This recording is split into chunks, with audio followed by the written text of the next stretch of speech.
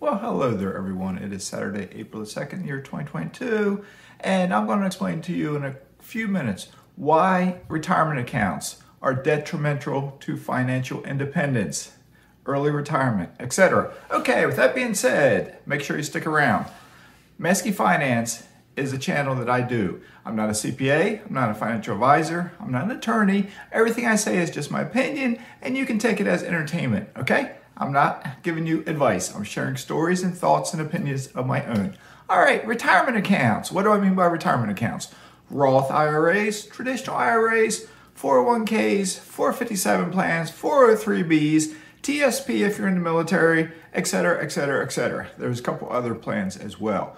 All right, why do I say retirement plans are detrimental to early retirement? The reason being is if you have a retirement plan for the majority of people, remember only 2% of Americans are real estate investors. That means 98% of Americans are not. Okay? So if you're in the 2% that are real estate investors, retirement accounts are detrimental to early retirement. If you're the 98% others, keep your retirement accounts because you will literally work until the day you die. Yeah, you are one of the lucky ones. If I live to be a 100 and you're 25 right now, I will see some of you being a greeter in Walmart. I will see some of you being gray haired, stooping over, being a waiter or waitress, and so on and so on. And I'm going to laugh at you because you did not follow my channel. Okay? All right, so anyway, why are they detrimental? Here's why. They put you in a mindset that you have to keep putting money into your accounts and wait until you are 59 and a half years old to start retiring. If you withdraw your money prior to 59 and a half, you may have to pay a 10% penalty. You may have to pay taxes. So the majority of Americans, let's say 98% of them, diligently, if they save anything at all, put their money in their 401k, put their money into this account, put their money into this account, waiting for that day they turn 59 and a half. But guess what? Not everyone makes it to 59 and a half. I've lived a long time. I still have five years to go.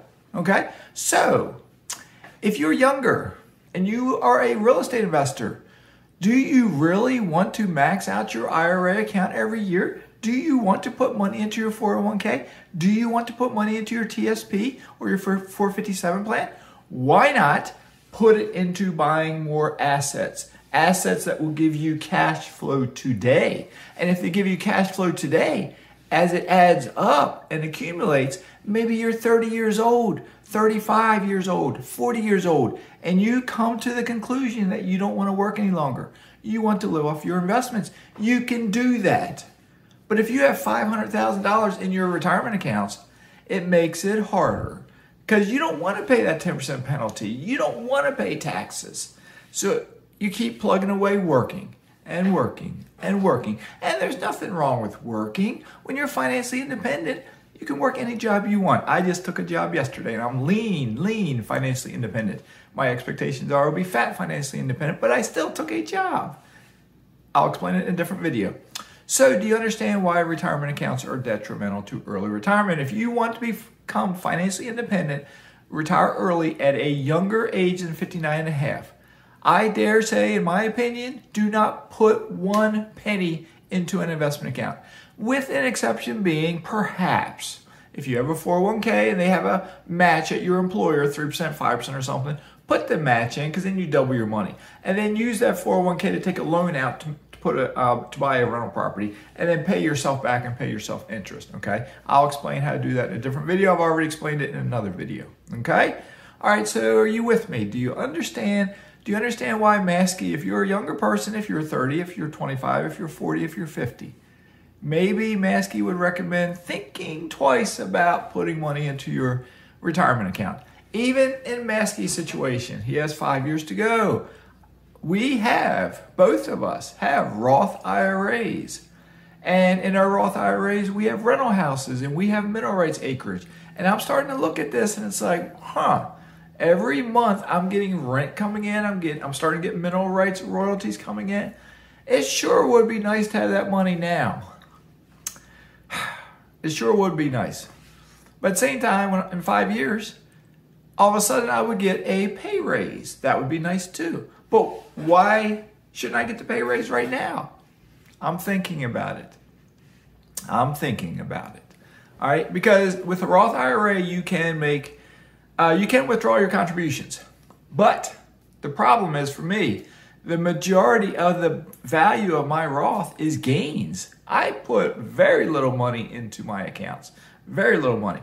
I turned a very little bit of money into a larger amount of money through intelligent stock investing and then turning it into a house and mineral rights acreage. Okay. So in my case, I would only be able to withdraw just a little bit tax free. And the rest of it, I'd get a 10% penalty. And I don't know if I may or may not have to pay tax. I probably would because it's all gains, capital gains. Okay. So my thoughts are, and I have kids, and I might tell them this, and I don't know if they'll do it or not. And I might tell my mastermind group this. I don't know if they'll do it or not. But looking back, if I could start over, I never would have funded my Roth IRA. I never would have funded my traditional IRA because that's what we had when I first started traditional IRA. I never would have funded my 457 plan. I never would have funded my wife's 401k plan. I never would have done it. Right now, with that 401k plan, we're paying, we live in a state with no state income tax. But when we make withdrawals, we're paying 20% tax on that. We could have used that money years ago, probably in a we were in a lower tax bracket and we could have bought real estate and rental property. I didn't know then what I know now. Okay? So that's the point of this channel. I'm trying to share stories so that you, especially if you're younger than me, change your mindset. Don't follow the sheep of the world. Look out, think outside of the box. All right? All right. Good enough. If you got any questions, Put them in the comments below. If you want me to dig deeper into this subject, let me know. But Mazske is signing out.